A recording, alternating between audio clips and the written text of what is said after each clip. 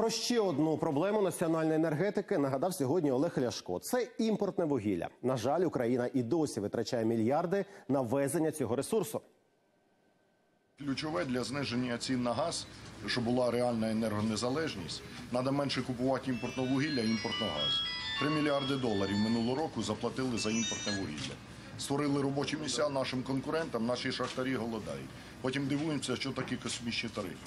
Щоб знизити ціни на комуналку, треба більше свого вугілля видобувати, свого газу, свого торфу і своєї енергетики більше робити підтримувати для наших людей роботу і зарплату давати. І оце буде реальна енергонезалежність, яка дасть зниження тарифів.